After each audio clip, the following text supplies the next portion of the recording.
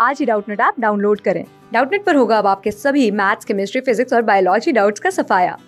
बस अपने क्वेश्चन की फ़ोटो खींचो, उसे क्रॉप करो और तुरंत वीडियो सोल्यूशन पाओ। Download now. हेलो फ्रेंड्स, आज के क्वेश्चन में बोला गया है जाइगोट ऑफ़ टेरिडोफाइट। टेरिडोफाइट का जाइगोट से अंदर के अंदर क्या होता है हमें बताना है।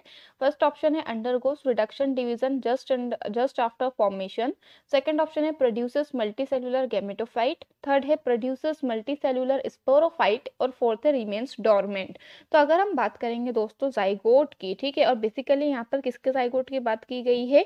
टेरिडोफाइट के जाइगोट की बात की गई है। तो जाइगोट कब बनता है? बेसिकली जब फ्यूजन होता है।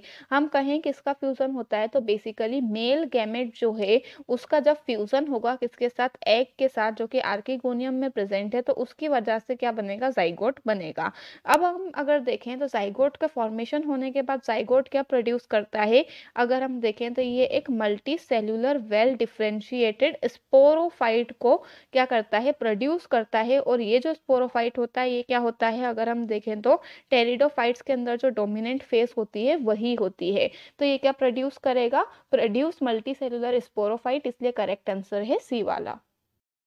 क्लास सिक्स से ट्वेल्थ से लेके NEET I I T JEE Mains और एडवांस के लेवल तक। दस मिलियन से ज़्यादा स्टूडेंट्स का भरोसा। आज ही डाउनलोड करें डाउट नेट आप या व्हाट्सअप कीजिए अपने डाउट्स आठ चार सौ चार सौ चार सौ पर।